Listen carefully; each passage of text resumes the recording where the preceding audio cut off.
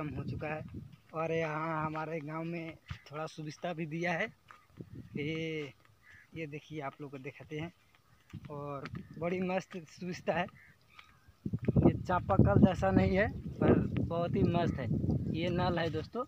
इसको थोड़ा सा दाबिए इधर से पानी आएगा।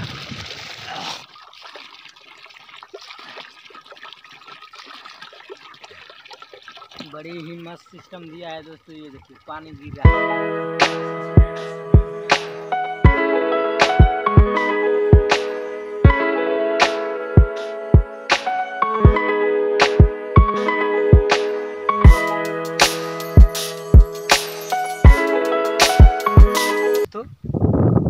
आप सभी का हमारे यूट्यूब चैनल पर बहुत बहुत धन्यवाद। यार, कितना गर्मी है, धूप भी बहुत ज़्यादा लग रहा है। और ये हमारे गाँव की कच्ची सड़क है और ये दूर दूर तक गन्ने की खेत दिख रहा है दोस्तों।